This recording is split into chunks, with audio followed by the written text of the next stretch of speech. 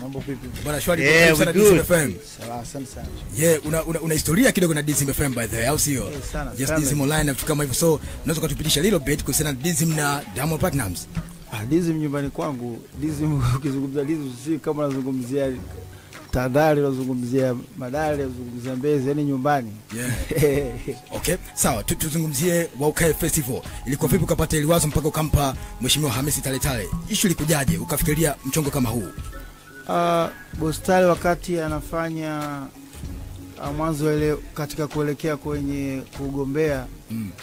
alikuwa kila mara anamuuliza sasa lini tunaenda kushambulia, kawa anasema ah, mi nafikiri sasa hivi tusifanye hivyo. Yeah.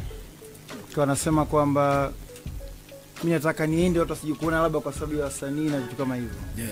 Kwa baada ya kumaliza tukaona ah, sasa kushaisha sasa hivi basi tukacelebrate Mm. tukawasikilize watu wanataka nini, tufanye nini, vitu kama hivyo, na sisi wengine kwenda kule, watu kutaka kuwekeza, watu kutaka sehemu ambazo kuna vitu vya kusaidiana, kufanya nini, ndio mambo tunayapenda. Kwa hiyo nikasema siwezi kuenda nikaenda tu hivi hivi bila kufanya show pia, Yeah. na pale ni familia kwao hatukuja mwanzo wakati hapo kwenye wakati wa kampeni kuonekana kama tumekuja ili kutaka kumpitisha Bustani kwa nguvu na vitu kama hivyo. Yeah. Yeah. Alifanya, Mwenyezi Mungu ambariki, tena kapita bila kupingwa. Okay. Kwa sasa hivi tunakuja kufanya kwa sababu kwa mapenzi sio tu ya kwake peke yake, lakini pia kwa watu wale ambao walimchagua, watu ambao wamemsupport, na sisi kama vijana wake tumekuja hapa kuonesha kama tuko pamoja na wao katika hali na mali, na kuna kutazama nyanja mbalimbali mbali za kuweka kama wekezaji na kusaidiana. Simba huenda tukaona akaona kipaji cha kijana yoyote ambaye kaperform pale labda wale ufunguzi akasema kwamba huyu anaweza akakaa bench pale WCB kwa ajili ya kuweza kumsana, kwa sababu tunafahamu hata Zuchu historia yake alieleza akiwa anatoa machozi, alisota bila kujua ni lini atakuja kutoka. Okay.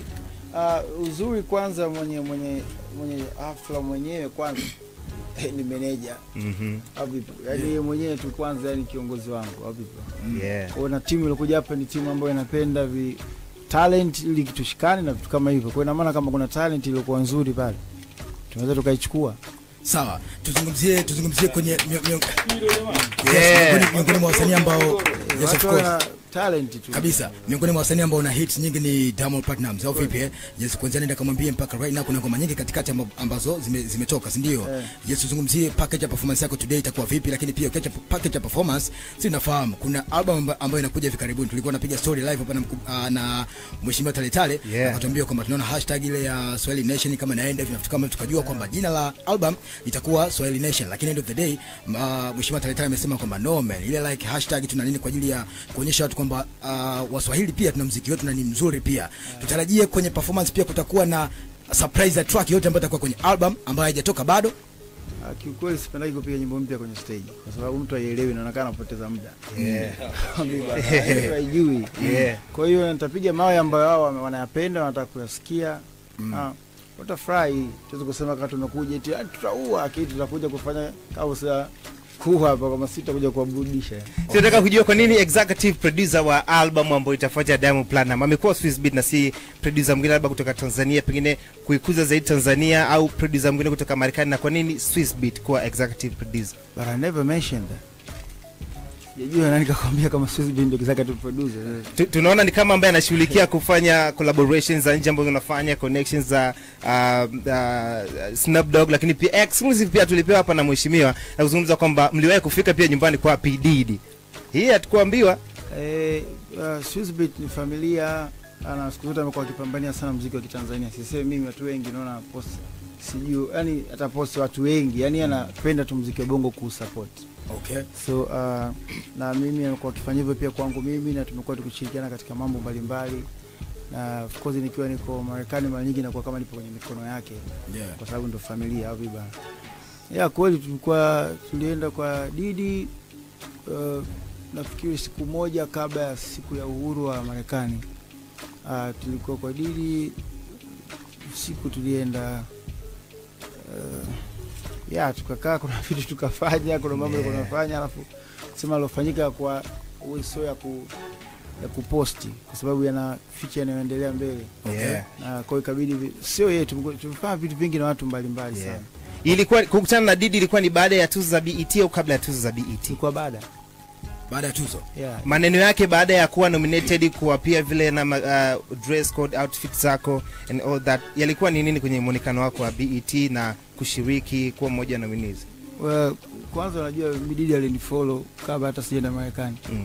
so ina maana ni mtu ambaye anatambua mziki wangu anatambua shughuli zangu na kwa maana kwa namna moja nyingine amependezewa na mziki wa Kitanzania yeah. so ina maana ilikuwa positive uh, kwenye kila kitu na ndio maana mpaka tukaenda kwake na tulienda unajua na, na, na Swissbeat na kutoka kwake kutoka LA mpaka kwake ni kuendesha masaa mawili yes. alafu Swissbeat ndio alikuwa anaendesha unajua yani kwanza mapenzi makubwa natoka mtu anaendesha masaa mawili Yeah. kwa Didi Mm. tunakumbuka mara kwanza wakati tulikuwa Marekani sio kama ni baada ya tuzo baada ya tuzo tuliongea pia na Didi Mm.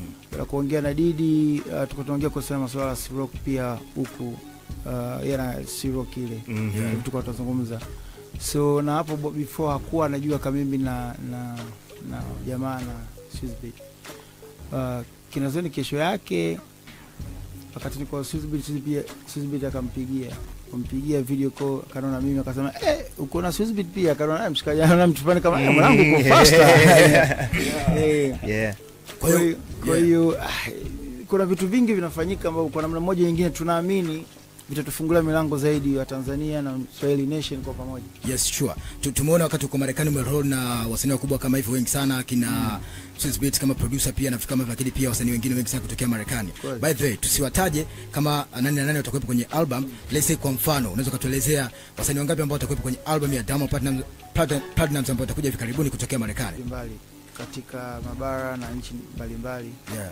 So uh, nikisema si wangapi ni uongo, sijui. Unajua bana, unajua labda unaweza mkapanga nyimbo kumi ukashangaa la kumi na tano na zinachanganyaga sana. Yeah. Mhm. Mfano kama Rayvanny anaacha albamu na nyimbo karibu 23 tulikuwa mtiti pale lebo kwa sababu tulikuwa na mbona nyimbo nyingi sana. Sasa mtu anakuwa na kolabo nyingi, yani watu wengi ile inachanganyaga. Kwa sasa hivi nikisema nitakuwa na nyimbo ngapi au nimshirikisha na nani na nani, wasanii wangapi uongo. Hilo of course tutakuwa tuna watu mbalimbali ambao tunaamini watachangia kwa namna moja nyingine muziki wetu na sisi kuvuka zaidi. sawa e bana kama kawa hii ni Dbit Dizim fm Yeah, 93.1 morogoro au vipi eh? lakini pia tuko mashup na wasafi fm Yeah, tuko live kupitia wasafi tv right here lakini pia tuko live pia kupitia dizim tv Yeah, so unaweza kai kaiwatch kile ki, kitu ambacho kinaendelea au vipi Yeah. lakini pia tutakuwa live hapa lakini pia tutakuwa live kiroka so kile ambacho kinaendelea kiroka utakuja ukiona kupitia wasafi tv lakini pia dizim tv right here we got bele 9 bele 9 in the house au sio yeah. baba boss tv ep Yeah.